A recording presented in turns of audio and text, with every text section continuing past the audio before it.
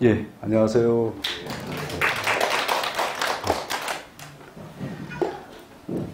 자, 예, 이번 시간은 음,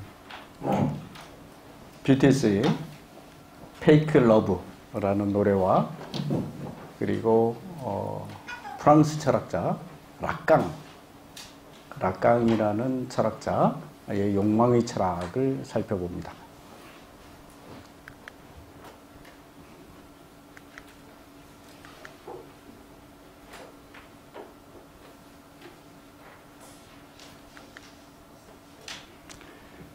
예, 어, 먼저 BTS의 콘서트 Fake Love 어, 콘서트를 들어보겠습니다. 어, 이 콘서트 제 1악장의 제목은 네가 좋아하던 나로 변한 나입니다. 음. 콘서트 모습이고요. 예. 자, 노래를 한번 들어보죠. 예. 잘 보셨죠? 음. 어, 굉장히 경쾌하면서도, 예. 그, 마냥 경쾌하지만은 않는. 왜냐면, 예, 노래말 때문에 그렇죠. Fake Love. 어. 그러니까 뭐, 어, love가, 그죠? 가짜 사랑이다. 라고 계속, Fake Love, Fake Love, Fake Love. 어, 그죠? 어, 그런 얘기를 계속 하니까, 에, 그다지 유쾌하지만 않습니다. 멜로디는 굉장히 유쾌한데. 음. 자, 도대체 왜 Fake Love라고 하나? 아, 아, 저희가 한번 살펴보도록 하죠. 음. 널 위해서라면 난 슬퍼도 기쁜 척 할 수가 있었어. 널 위해서라면 난 아파도 강한 척 할 수 있었어. 아, 난 이제 지겨워. 어, 이것은 가짜 사랑이야.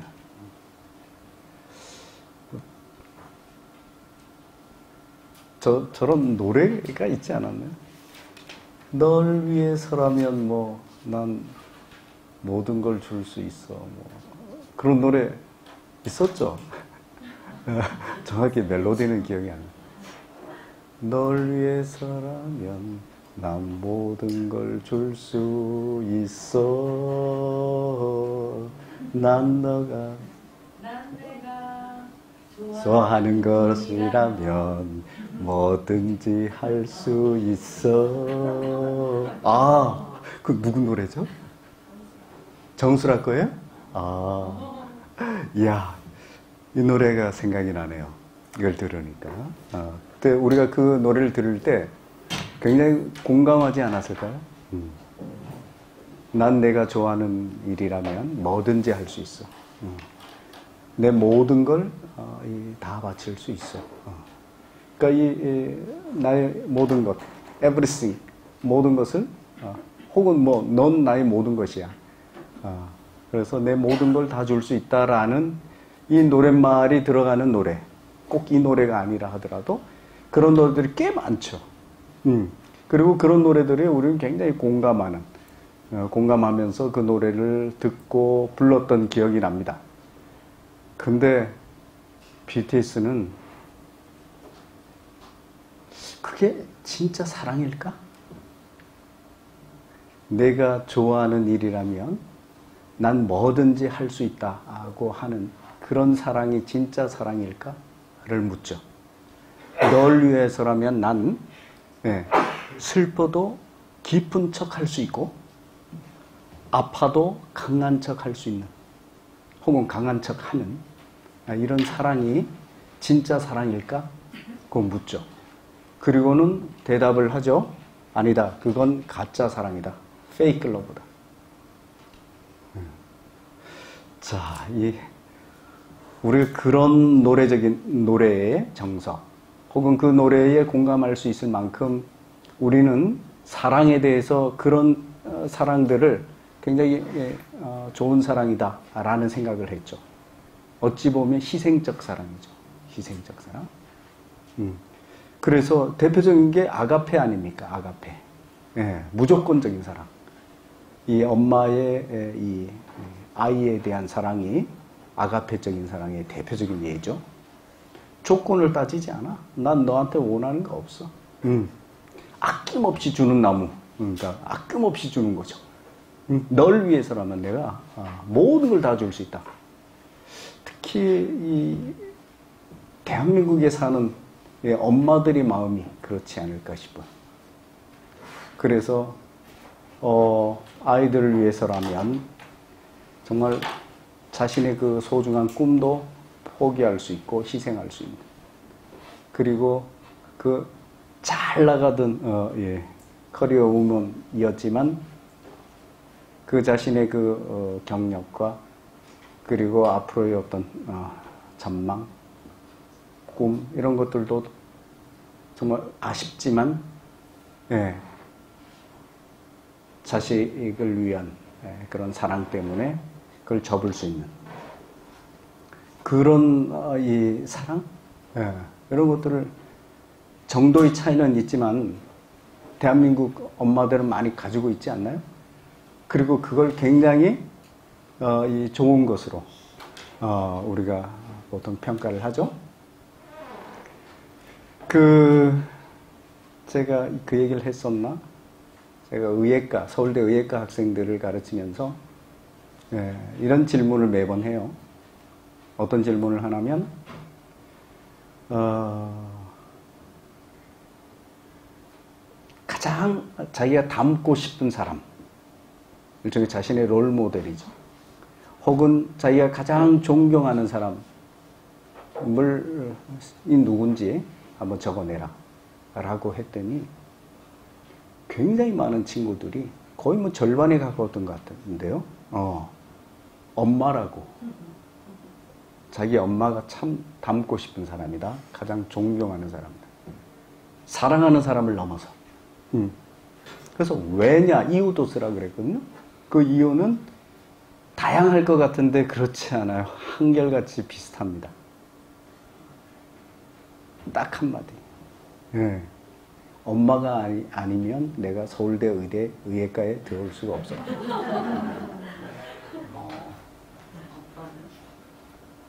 예.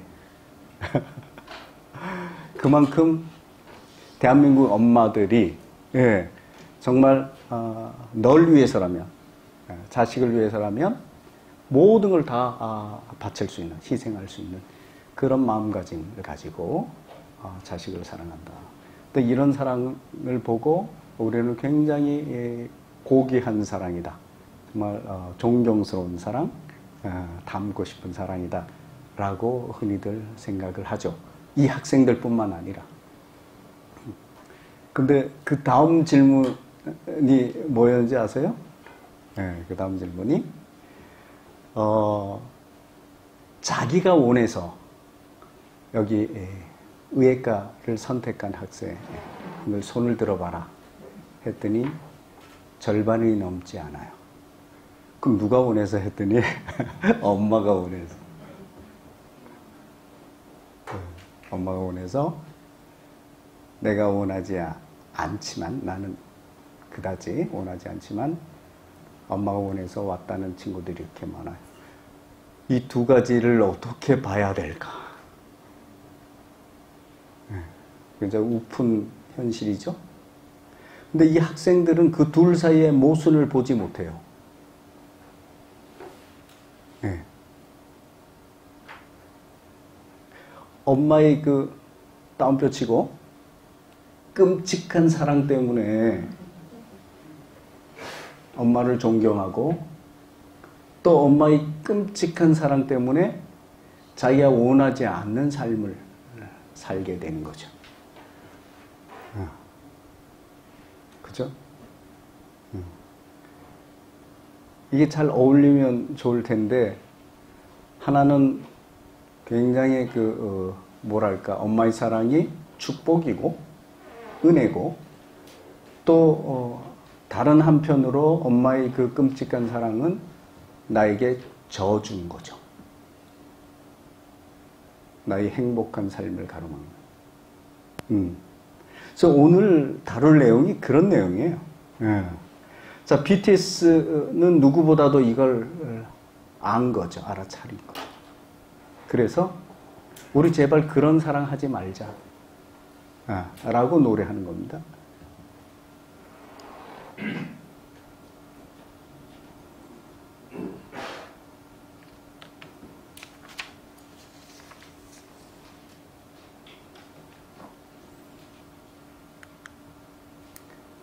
자, 나도 내가 누구였는지 잘 모르게 됐어. 널 위해 예쁜 거짓을 빚어내. 날 지워 너희 인형이 되려 해. 예, 너왜 슬프니? 나를 봐. 나조차도 버린 나. 너조차도 이해할 수 없는 나. 어. 자, 왜 예, 그런 거짓된 사랑을 하면 안 되느냐? 예, 이것 때문이죠. 그런 거짓된 사랑을 하면 결국 음, 내가 누구였는지 모르게 된다. 아, 나를 아, 잃어버리게 되는 거죠. 나의 정체성은. 내가 누군지. 왜? 지금, 어, 내가 좋아서 어떤 행동을 하거나 어떤 삶을 사는 게 아니죠. 음. 너가 그걸 좋아하니까. 아, 내가 그것을 하고, 네, 그런 삶을 사는 거죠. 아까 그랬잖아요, 그 노래. 난 내가 좋아하는 것이라면 뭐든지 할 수 있어. 내가 좋아하는 것. 너가, 네, 너가 좋아하는 일이라면 그 일을 어, 내가 좋아서가 아니라 어, 너가 좋아하는 어, 너가 좋아하기 때문에 내가 이 일을 하니까 이 나는 뭘 좋아하는지를 잊어버리게 되는 거죠. 어, 혹은 잃어버리게 되는 거죠. 어. 도대체 나는 뭘까? 나의 정체성 뭘까? 이건 어찌 보면 내가 좋아하는 것들로 이루어져 있겠죠. 어. 그래서 뭐 어, 누군가에게 저를 잘 아는 친구에게 묻는다 그러죠. 그 김강식이 어떤 사람이야? 라고 하면 아, 그 친구 아, 노래하는 거 좋아해. 노래 듣는 것도 좋아하고 예, 그리고 수다 떠는 것도 좋아하고 어, 사람이랑 어울리는 것도 좋아하고 뭐 이런 얘기를 할 겁니다. 또 뭐 음식 같은 경우는 뭐, 어, 뭘 좋아하는지 예, 뭐 그런 얘기를 하겠고 이것저것 왜냐? 어떤 사람이 누구냐 하는 그 사람의 정체성은 바로 그 사람이 무엇을 좋아하느냐 하는 것들로 이루어져 있는 거죠. 그죠? 어. 그래서 뭐, 김광, 김광식 답다라고 하면 이게 김광식의 정체성이겠죠? 음. 그러면 그 사람을 아느냐라고 물었을 때, 너 김광식 알아? 라고 물었을 때, 예, 사람들은 뭐, 다양한 대답을 할 수 있겠지만 다양한 그 예, 관점에서 뭐 그 사람이 어떻게 생겼는지 예, 내가 안다 이런 의미에서 또 안다고 할 수도 있겠고 뭐 등등 아, 혹은 어, 이 사람이 예, 뭐 어, 느 대학을 나왔는지 뭐 지금 직업이 뭔지 뭘 하고 있는지 뭐 등등 아, 이런 것들 내가 안다 아, 이런 의미에서 또 안다고 할 수도 있겠고 음. 근데 수십 년 동안 저를 알아온 친구에게 내가 김광식이가 물어 너 날 알아? 라고 물으면 당황스럽죠. 이건 뭘 얘기하는 걸까? 그건 바로 어, 아주 이 생긴 외모라든가 내가 뭐 어느 대학을 나왔고 지금 직업이 뭐고 또 뭐 무슨 책을 썼고 뭐 이런 걸 아느냐고 묻는 게 아니죠. 이 대답은. 그 친구가 모를 리가 없죠. 음. 이때 묻는 것은 뭐냐? 어떤 상황에 있을 때 내가 어떻게 행동할지, 또 어떤 판단을 내릴지, 어떤 생각을 할지, 어떤 느낌을 가질지를 아느냐고 묻는 거겠죠. 그렇죠. 어.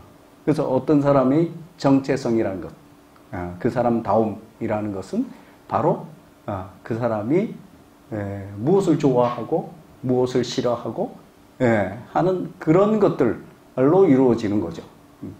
근데 내가 삶 자체를 내가 좋아하는 것을 하지 않고 내가 좋아하는 방식으로 어, 어, 살지 않고 다른 사람이 비록 그, 그 사람이 내가 사랑하는 사람이지만 다른 사람이 좋아하는 것을 하고 다른 사람이 좋아하는 방식대로 하고 이런 식으로 어, 살아오면 결국 내가 무엇을 좋아하는지를 모르게 됩니다.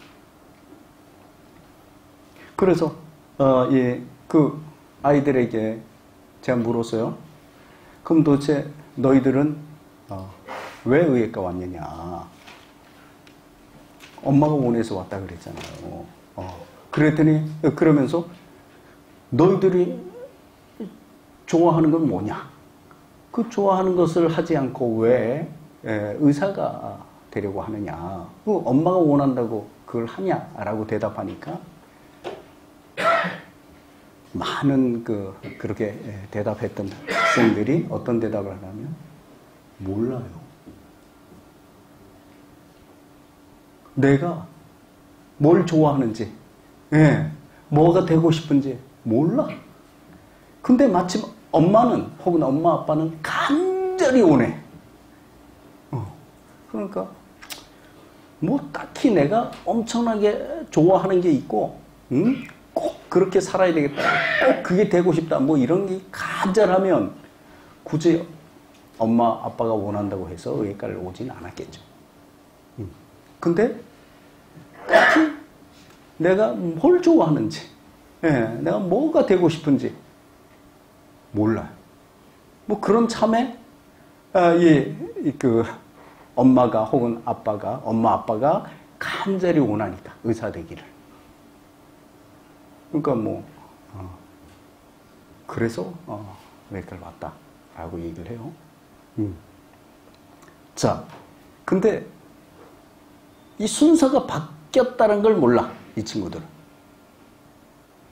내가 뭘 좋아하는지, 내가 뭘 되고 싶은지를 몰라서 엄마가 혹은 아빠가 의사 되기를 간절히 원하니까 아, 내가 아, 의사를 선택했다. 의사 되는 거.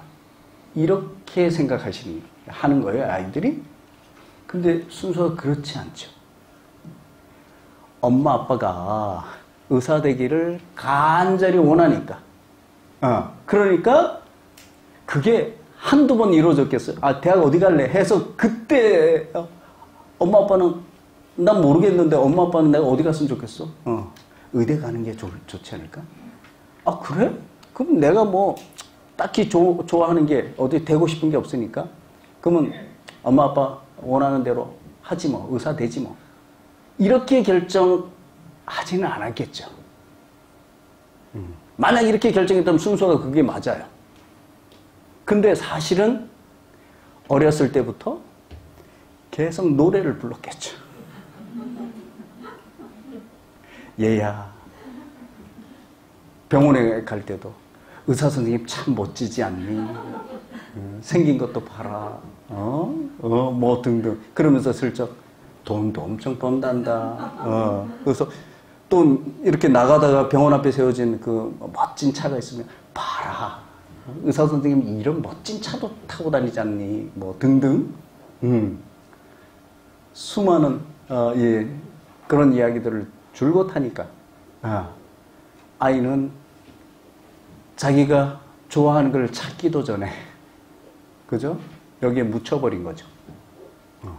그래서 내가 좋아하는 것이 무엇인지, 내가 되고 싶은 것이 무엇인지를 모르게 된 거죠.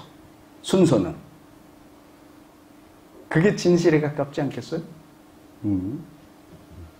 자, 거짓 사랑, 가짜 사랑. 남을 위해서 예, 남이 좋아하는 예, 그런 어, 일을 하는 예, 그런 행동을 하는 그런 삶을 사는 그런 사랑 그런 사랑은 가짜 사랑이다. 그리고 그런 가짜 사랑은 어, 하면 안 된다. 안 하는 게 좋다. 왜? 내가 누군지 모르게 되니까. 나를 잃어버리게 되니까. 어. 그래서 나는 다른 사람의 인형이 되어버리니까. 사람이 아니라 인형. 예, 인형은 우리가 꼭두각시라고도 흔히들 얘기를 하죠.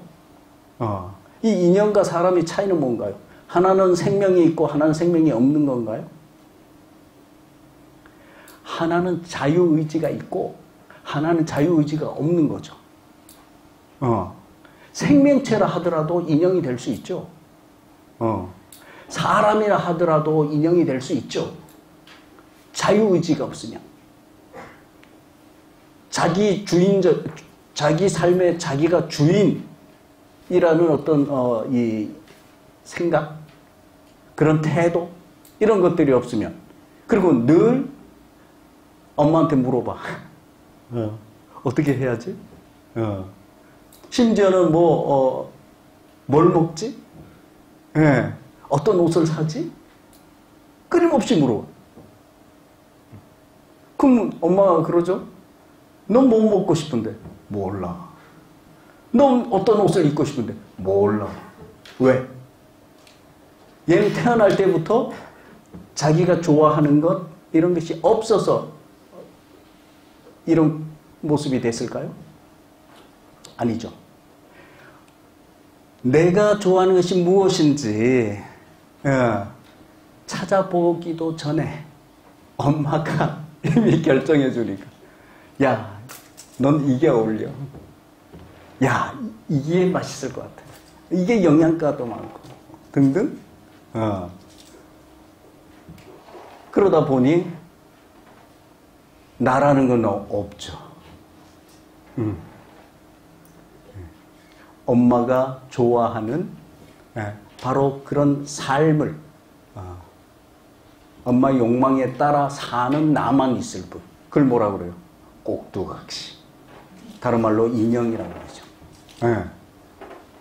내 삶의 주인, 내가 어떻게 살 것인지를 내가 결정하는, 내가 무엇을 좋아하는지 내가 어, 결정하는 그런 어, 삶의 주인으로서의 나는 없는 거죠.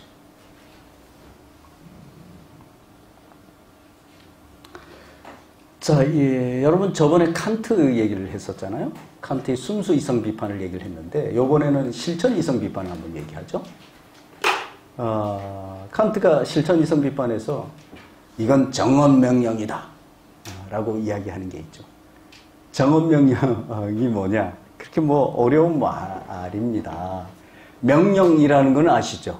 어, 명령. 이래라. 이렇게 살아라. 어. 근데 정언은 뭐야? 그럼 정언이 아닌 건 뭐야? 가언이죠. 어, 가언과 정언 아주 어려운 말로 옮겨놨어요. 번역어로 해서 그래요. 일본을 통해서 오면서 이런 번역어를 가지고 왔습니다. 우리말로 바꿔야 되는데 가언이라고 하는 것은 뭐냐 하면 예, 조건 문장이에요. 조건 문장. 어떤 조건이 만족되면 그렇다면 이렇게 해라. 어. 예를 들어서 너가 돈이 있으면 아, 돈이 많으면 뭐 어, 벤츠를 사라. 음. 어, 요런 게 가업 명령이라고 하죠. 사실 에, 조건 명령이라고 하면 되죠. 어. 그리고 정언 명령이라는 것은 어, 우리 답장녀처럼 답이 딱 정해져 있는 거죠. 이건 조건에 따라 달라지는 게 아니에요. 음, 무조건적인 예, 그런 명령을 정언 명령이다. 어. 그 언자는 말씀 언자고 말이고 예, 어떤 말이냐 가언이냐 정언이냐 가언은 뭡니까? 우리 그 어, 뭐라 합니까? 예, 임시로 하는 그런 것들을 가짜를 붙이잖아요. 그죠? 그런 것처럼 이게 딱 정해져서 변할 수 없는 어, 이런 것이 아니라는 뜻으로 가짜 이 가언이라고 어, 붙인 겁니다. 그래서 조건에 따라 달라진다 해서 사실은 아, 조건 아, 아, 명령 어, 그리고 정언은 정해진 거 조건에 따라 달라지는 게 아니야 무조건 명령 이렇게 이제 보시면 되죠. 근데 칸트가 실천 이성 비판에서 에, 예, 실천 이성 비판이 뭔지 아시죠? 순수 이성 비판과 다른 차이점. 순수 이성 비판은 비판이긴 해요, 둘 다. 비판이란 말은 따져보는 거죠. 아. 근데 순수 이성 비판은 뭘 따져봤냐면, 어, 순수 이성을 따져봤죠. 순수 이성 뭐 하는 어, 그 어, 능력이냐면 인식하는 능력이에요. 어, 뭘 어, 알아내는, 음, 아는 능력. 이게 이제 순수 이성이에요. 그럼 실천 이성, 어, 이 친구는 뭐 하는 능력이냐 하면 실천하는 능력이에요. 인식하는 게 아니라 실천이란 말은 삶의 실천이 뭡니까? 사는 거죠. 음, 어떻게 살아야 하는지 아, 이걸 알아내는 아, 능력이 바로 어, 실천 이성이에요. 어. 그러면 실천 이성 비판에서 무슨 얘기를 할까요? 어떻게 살아야 되는지 이를 얘기하겠죠. 그러면 우리가 어떻게 살아야 되는지 예. 만약 우리가 사는데도 어, 우리 삶에도 법이 있다라면 예. 그 법이 뭐냐? 법칙이 있다면 그 법칙이 뭐냐? 이걸 찾아내는 거죠. 음. 그래서 뭐 몇 가지를 찾아냈는데 그 중 하나가 오늘 주제와 관련된 거는 사람을 대할 때 수단으로서가 아니라 목적으로 대하라. 라는 얘기를 합니다. 어. 자, 이 인형은, 네. 그죠? 이건 수단이죠. 음. 자, 인형이 아닌 어떤 나의 삶의 어떤 주인으로 어, 어, 사는 사람들은 목적이죠. 음. 저 인형으로 사는 사람들은 다른 사람의 삶의 수단으로 어, 사는 거죠. 그렇잖아요. 만약 엄마, 엄마가 아, 원하는 대로 아, 내가 산다라고 하면 예, 나는 엄마가 추구하는 삶 이게 목적이겠죠. 엄마의 목적에 수단으로 쓰이는 거죠. 예. 자, 근데 에, 내가 수단이 아닌 목적으로 산다 하면 예, 다른 누구의 목적을 위해 에, 내가 아, 내 에, 삶을 사는 것이 아니라 내가 정한 목적, 목표 아, 이걸 위해서 사는 것 아, 이게 바로 내가 수단이 아닌 목적으로 사는 거죠. 그러니까 칸트는 물론 자기가 이렇게 살아라 보다 다른 사람을 어떻게 대해라 라는 음, 그런 뜻에서 그런 맥락 속에서 그 얘기를 했지만 거기에 그 사, 람을 다른 사람을 여기에 사람을로 바꾸고 일반화하고 거기에 나도 집어넣으면 돼요. 당연하죠. 칸트는 다른 사람은 뭐 목적으로 대하고 나는 수단으로 어, 어, 대해도 된다. 이렇게 얘기했을 리가 없죠. 왜? 나는 굳이 그런 얘기를 안 해도 어, 자기 삶의 목적으로 어, 어, 이, 어, 사니까 산다고 생각했으니까 칸트는 왜? 칸트는 근대적인 사람이에요. 중세로부터 벗어난 막 벗어난 뭐 몇백 년이 흐르긴 했지만 뭐 중세에서 근대가 15세기, 16세기 이때 이제 왔다라면 칸트는 18세기니까 몇백 년 뒤죠. 뒤긴 하지만 우리가 큰 역사적 흐름으로 봤을 때는 사실 중세에서 근대로 넘어온 지 얼마 지나지 않은 시대라고 할 수 있어요. 그 시대이기 때문에 칸트는 어떻게 생각했느냐 하면 그 신이라는 목적, 예, 신의 말씀의 목적이고 그걸 어, 예, 그죠? 실현, 이 땅에서 실현하기 위해서 내가 수단으로 쓰이는 것. 이건 중세 때 사람이잖아요. 내 삶은 수단이다. 하나님의 그 어떤 목적을 실현하기 위한, 이루기 위한, 이 땅에서 실현하기 위한, 어, 실현하기 위해서 쓰이는, 교회 가면 그런 얘기 많이 하잖아요. 응? 하나님의 어떤 뜻을 위해 저를 쓰소서, 뭐. 그런 얘기를 많이 하죠. 그렇게 쓰이는 수단이라고 중세는 생각했죠. 근데 근대에 넘어오면서 어, 우리 신을 더 이상 믿지 않게 되죠. 어, 신을 믿는다 하더라도 중세에서 어, 믿던 것만큼 그런 절대적인 어떤 예, 그런 존재로 믿질 않죠. 그렇게 되면 어떻게 됩니까? 이제 더 이상 인간이 예, 어떤 수단이 아니라 내 스스로가 목적이라고 생각하게 됐죠. 자기 스스로가. 이렇게 생각하니까 칸트는 어, 당연히 사람이라면 응? 제정신 박힌 이성적인 사람이라면 자기는 목적으로 어, 생각을 하겠지. 이렇게 생각을 한 거죠. 어. 하지만 남은 자기처럼 똑같이 예, 목적으로 어, 이, 생각하느냐? 그렇지 않다는 거죠. 그래서 야 내가 나를 목적으로 대하듯이 예, 다른 사람도 똑같이 예, 목적으로 대하라. 수단으로 아니고. 아, 이런 이야기를 한 거죠. 근데 또 몇백 년이 흐르고 나서 오늘날에 오니까 이제 이걸 현대라고 하죠. 현대 오니까 아 칸트가 생각했던 혹은 근대의 사람들이 생각했던 것과는 좀 많이 달라졌다. 음. 나 스스로도 목적으로 생각하지 않고 수단으로 생각하고 살아가는 사람들이 많더라. 어. 오히려 자기 자신을 목적으로 어, 어, 생각하고 살아가는 사람보다 자기 자신을 수단으로 생각하고 살아가는 사람들이 훨씬 더 많더라.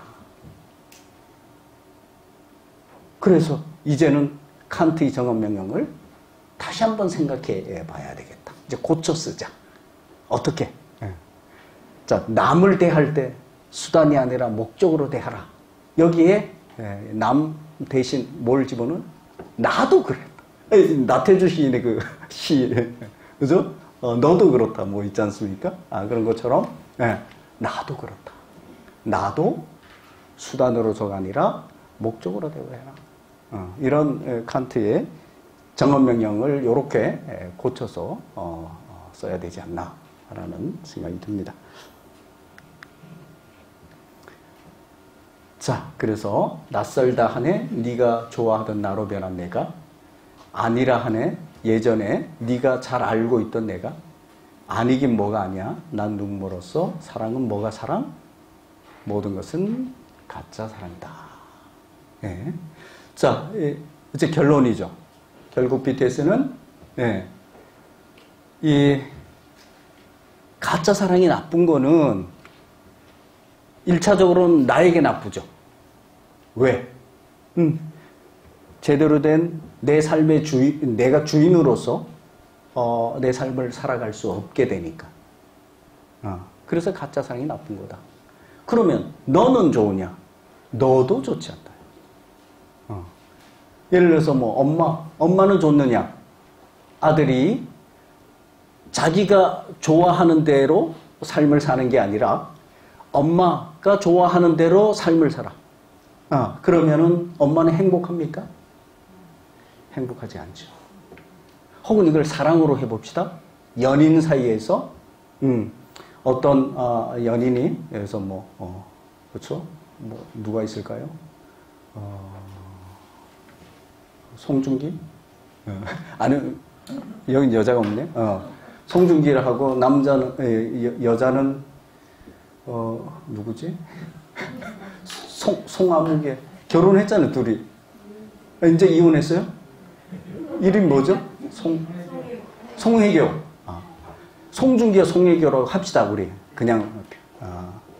그러면, 송중기가 송혜교가 원하는 대로 사랑을 해. 예. 그러면은, 어, 예, 예. 송중기는 불행한 사랑을 하게 되겠죠. 어찌 보면. 자기가 원하는 어, 사랑 혹은 삶을 어, 살 수가 없으니까. 송혜교가 원하는 대로 살 거 아니에요. 아, 그리고 사랑을 나눌 거 아니에요? 예. 네. 자, 근데 그러면 송혜교는 행복할까요? 송혜교 입장에서 한번 입장에 대해서 한번 생각해 보십시오. 내가 송혜교라 생각하고 예, 송중기랑 둘이서 연애를 하고 사랑을 하고 또 뭐 결혼해서 사는데 음, 송중기가 내가 원하는 대로만 아, 이 삶을 살아. 아, 사랑을 해. 또 삶을 살아. 그러면 도대체 송중기가 나를 사랑하는 거예요? 아니면 내가 아, 아, 그 만들어 놓은 송중기, 예, 이 송중기가 나를 좋아하는 거예요. 예, 만약 D라면 예. 그게 좋을까? 어, 한번 생각해 보세요. 음, 어떤 사람이, 어, 이, 어, 늘 연애할 때는 물어. 어, 뭐 먹고 싶어? 어디 가고 싶어? 어, 뭐, 영화 보고 싶으면 무슨 영화를 보고 싶어? 자기는 상관이 없어. 응. 그냥 상대가 원하는 대로 다 해. 응. 데이트뿐만 아니라 이제는 뭐, 어, 모든 것들을 그러고 심지어 결혼해서는 모든 삶을, 생활을 다 그거야. 어. 자, 그러면 나는 행복할까요? 다른, 다른 사람은 제 3자는 이렇게 하는 거야. 와, 행복하겠다. 어? 도대체 그런 남자 어딨냐? 응? 혹은 그렇게 생각할 수도 있죠. 왜냐하면 내 남자는 옆으로 봤더니 어? 참 말도 안 들어. 그리고 지 좋은 것만 해. 뭐 어디 먹으러 가도 지가 좋아하는 데만 가자 그러고 왜, 뭘 영화를 봐도 지가 좋아하는 영화만 보고 싶어 하고 어 맨날 공포 영화만 봐. 난 무서워 죽겠는데. 이게 뭐가 무서워? 어, 막 이러면서. 어. 야, 영화는 이 정도, 이런 거 정도는 봐줘야지, 뭐 이러면서. 음. 그래서, 아, 이런 사람 그만둬야 되나, 막 이런 고민을 하고 있는데, 이 사람은 전혀 다르잖아. 어, 그러니까 굉장히 부럽겠지. 어. 하지만, 이게 행복한 사랑일까 한번 생각해 보세요. 음. 그, 예를 들어서 그게 그 사람의 원에서 어, 어, 뭐, 어, 이, 그러는 거겠지만, 그 남자가. 근데 혹시, 예, 이렇게 한번 생각해 보세요. 그 사람은 원하는 게 아니야. 근데 코가 껴서, 이게 뭐 때문에 코가 꼈는지는 모르겠습니다만, 뭐 일종의 뭐 돈일 수도 있겠죠. 뭐. 이 사람은 엄청 어려울 때 왕창 어, 도와주면서, 야, 내가 조건을 단 거죠. 어. 어. 내가 하라는 대로 어, 해. 노예 계약이죠, 일종의. 노예 계약을 쓴 거죠. 음. 내가 이 엄청난 돈을 주는 게, 뭐, 예를 들어서 한 10억은 너무 작나? 한 100억, 100억 딱 주면서. 어? 그래서 그 사람 사업 쫄딱 말고 했는데 다 해결해 줬어. 음, 근데 난 조건이 뭐냐? 이제부터 내가 하라는 대로 살아. 사랑도, 내가 날 사랑해 하면 사랑해야 돼. 네. 자, 이런 사람. 그럼 이 사람이 날 사랑하지 않는다는 건 내가 뻔히 알아. 근데 사랑하는 척 해. 그냥 노예 계약에 의해서 내가 그렇게 명령을 했으니까. 그걸 어기면 뭐야? 100억을 토해내야 돼. 그럼 다시 쫄락 망하는 거야. 거지가 되는 거지. 그래서 마지못해 예, 예, 사랑을 해. 하지만 티를 안 내려고 노력해. 티 내면 조건도 그런 게 있는 거예요. 그냥 나를 사랑해라가 아니라 사랑하는 척 해라가 아니라 그게 척하는지 모르게 어, 사랑해라. 어. 자 그래서 만약 그렇게 사랑하네. 근데 나는 알고 있어. 이 친구가 왜 에, 에, 나를 사랑하는지 혹은 나랑 데이트하고 뭐 이렇게 등등 혹은 나랑 결혼해서 사는지 등등을 다 알아. 음. 자 그럼 내가 행복할까? 어. 행복하지 않을 수 있죠. 어. 적어도 자발적으로 자기가 원해서 나를 사랑하는 사람보다는 그 사람의 사랑보다는 예, 이 억지로 어쩔 수 없이 예, 사랑하는 이 사랑은 좋지 않을 겁니다. 그죠? 음. 그렇게 한번 생각해 보면 좋을 것 같습니다. 그래서 BTS는 이런 결론을 내리죠. 그런 사랑은 사랑이 아니다. 사랑은 뭐가 사랑? 예. 자, 왜냐? 네가 좋아하던 나로 변한 내가 하는 사랑이니. 그죠? 내가 좋아하는 어, 나 가 하는 사랑이 아니라 어, 네가 좋아하는 내가 어, 사랑하는 어, 어, 이 사랑이니까 그런 사랑은 행복한 사랑이 아니다. 그리고 사랑조차도 아니다. 라는 결론을 내리죠.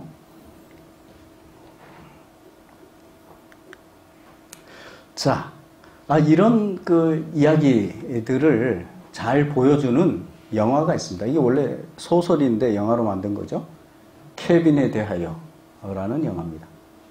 자, 이 영화는 음, 어, 어떤 여자가 있습니다. 저 여자예요. 주인공이에요. 근데 이 여자는 어, 직업이 뭐냐면 자유롭게 여행을 다니는 여행 전문가예요. 뭐 여행하고 뭐 여행에 대해서 뭐 책을 쓰고 뭐 이렇게 할 수 있겠죠. 여행 전문가. 아.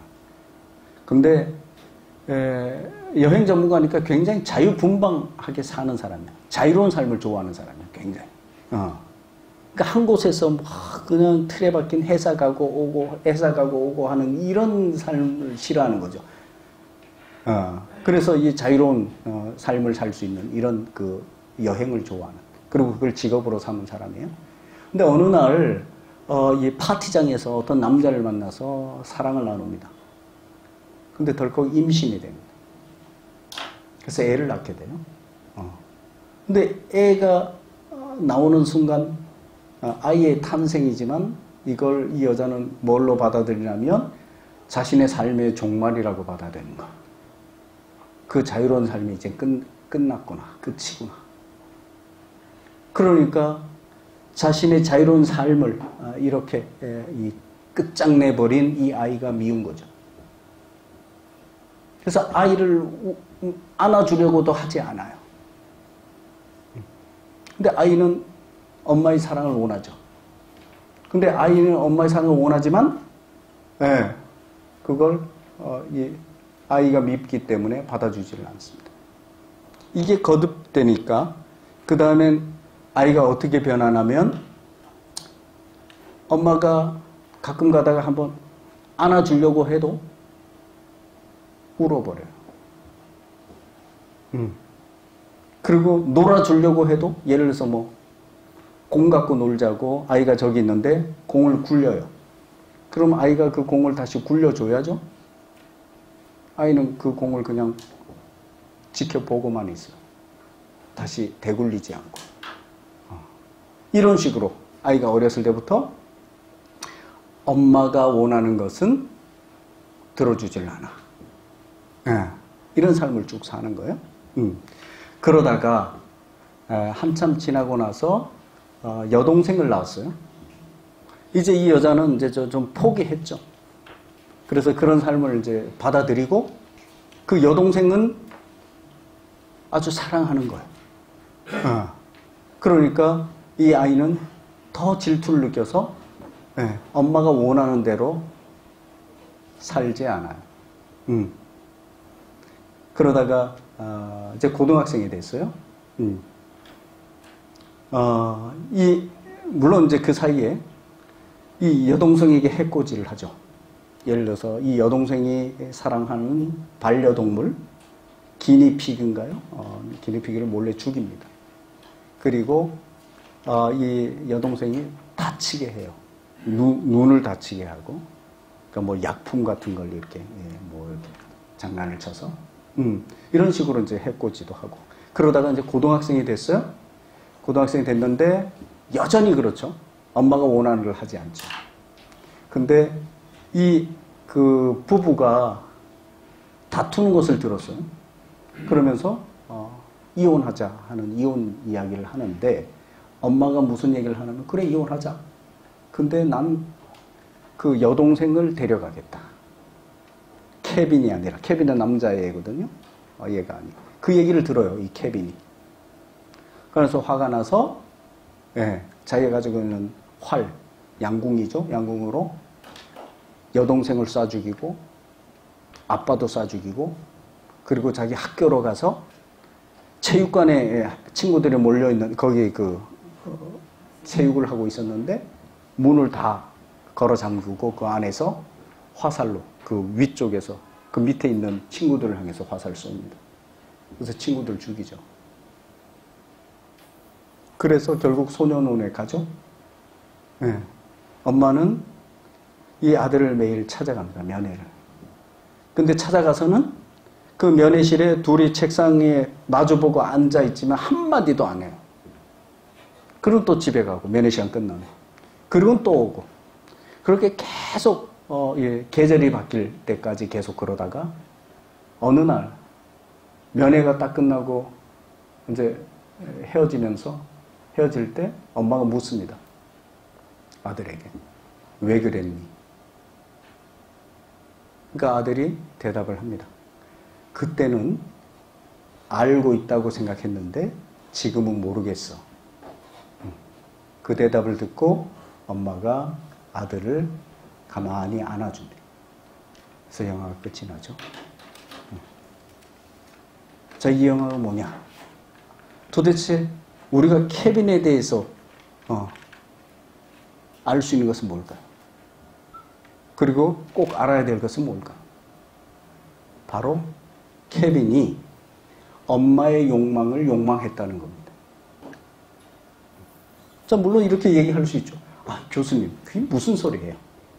엄마의 욕망을 욕망했다라는 것은 만약 그렇게 얘기를 할 수 있으려면 엄마가 뭘 욕망합니까?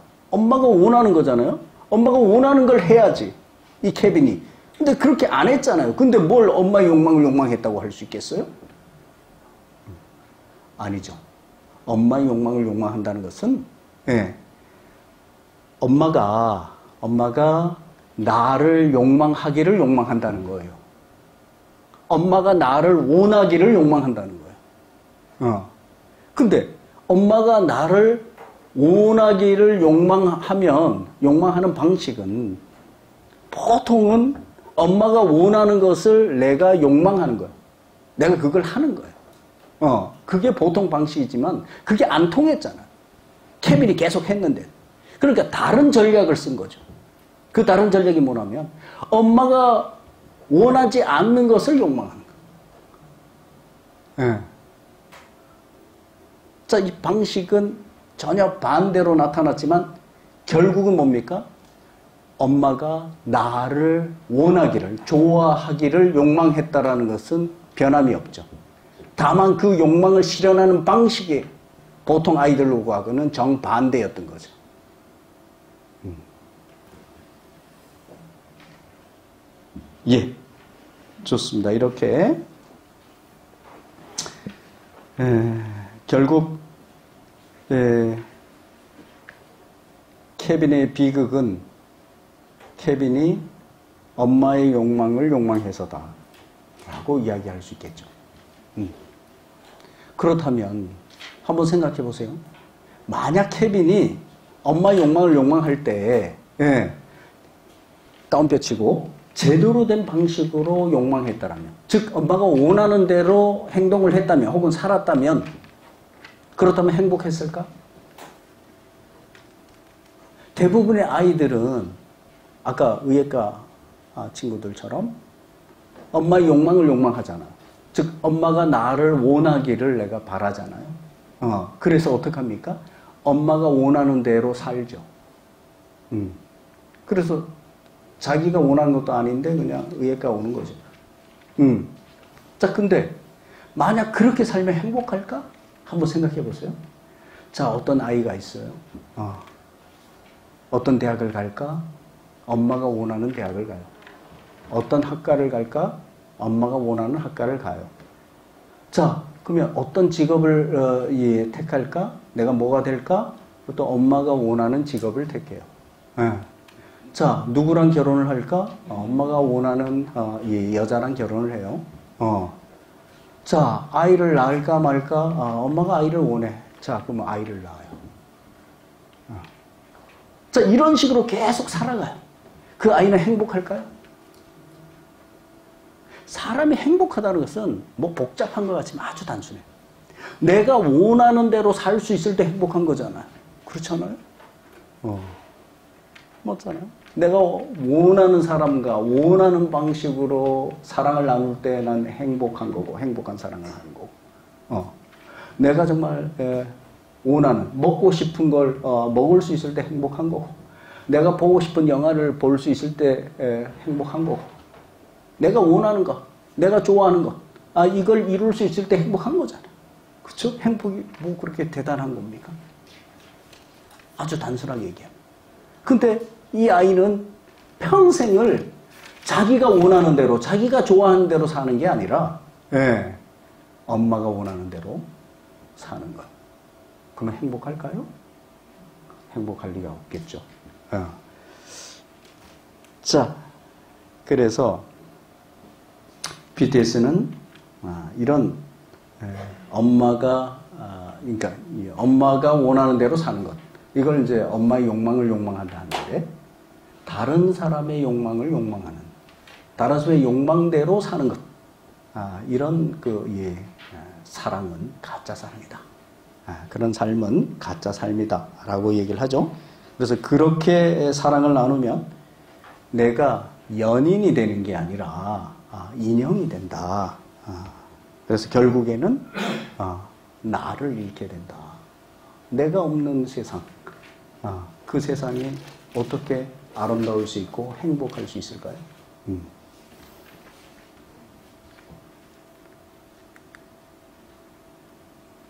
예, 좋습니다. 여기까지 하고 15분간 쉬겠습니다. 3시 15분에 다시 뵙겠습니다.